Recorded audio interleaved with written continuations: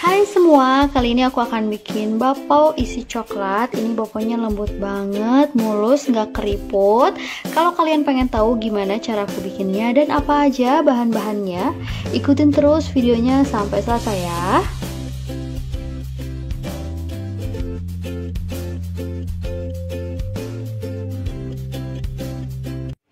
Untuk bahannya aku pakai 250 gram tepung terigu protein rendah. Di sini aku pakai merek kunci biru. 1 sendok makan gula pasir, 150 ml air. Ini airnya suhu ruang, tidak panas dan tidak dingin. 1 sendok makan mentega putih, aku pakai yang tawar. 1 sendok teh ragi dan setengah sendok teh garam. Pertama, aku masukkan tepung terigu, ragi, aku aduk-aduk agar tercampur rata. Setelah tercampur rata seperti ini, sekarang aku akan larutkan gula ke dalam air. Aku aduk-aduk menggunakan sendok hingga gulanya larut.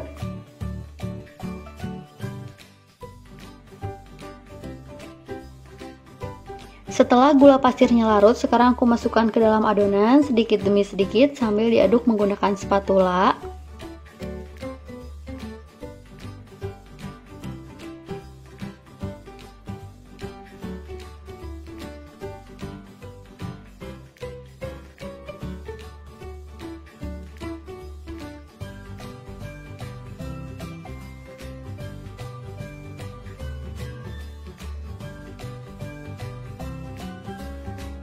Nah ini airnya udah aku masukkan semua. Sekarang adonannya akan aku uleni di atas meja biar lebih leluasa.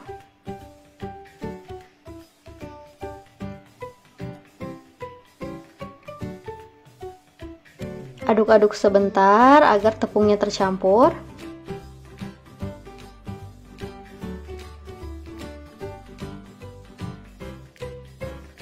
Sekarang aku masukkan mentega putih dan juga garam Nah ini adonannya akan aku uleni. Uleninya itu gerakannya seperti mencuci baju. Aku uleni kurang lebih selama 15 menit hingga si adonannya itu lembut dan juga lentur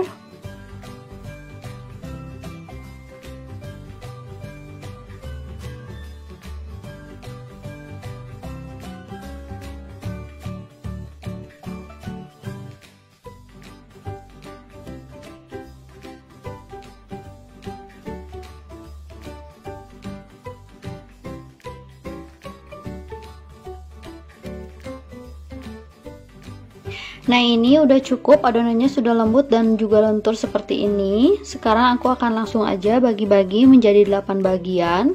Kurang lebih sekitar 53 gram. Kalau misalnya nggak punya timbangan kalian bisa kira-kira aja ya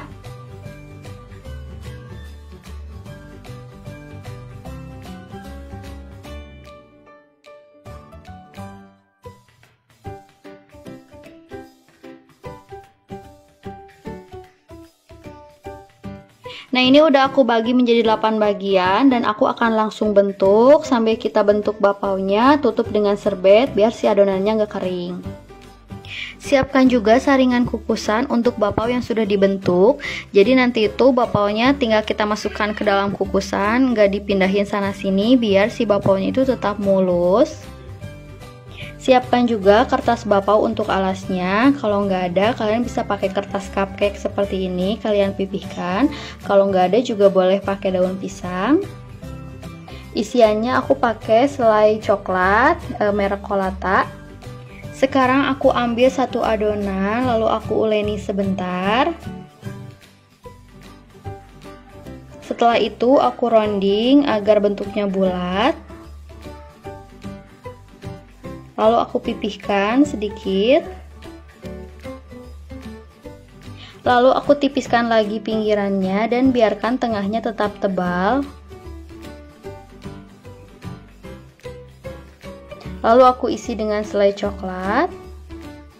Lalu aku tutup hingga benar-benar tertutup rapat biar si coklatnya tidak keluar dicubit-cubit kayak gini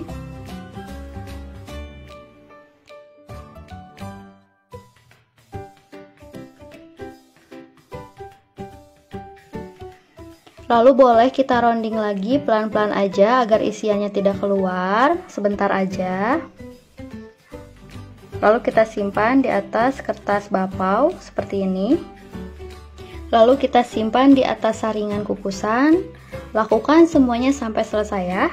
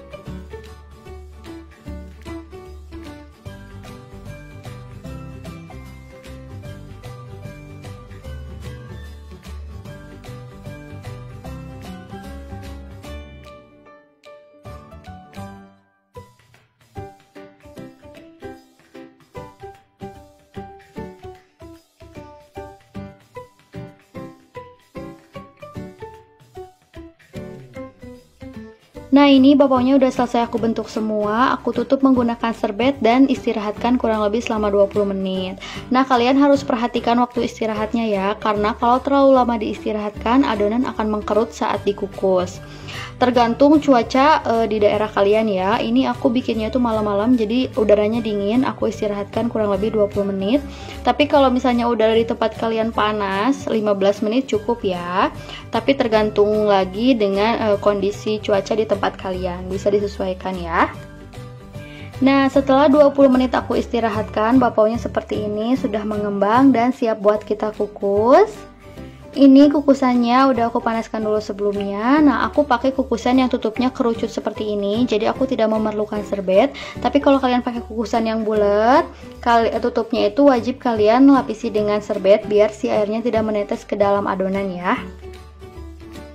Nah, air di dalam kukusannya juga tidak usah terlalu banyak, cukup 1 liter aja. Nah, ini kukusannya sudah panas, aku masukkan adonan bapaunya. Lalu aku tutup, kita kukus dengan api sedang cenderung ke kecil kurang lebih selama 10 menit ya. Nah, setelah 10 menit aku kukus, hasilnya seperti ini. Bapaunya montok-montok, mulus dan tidak keriput. Sekarang aku akan angkat bapaunya.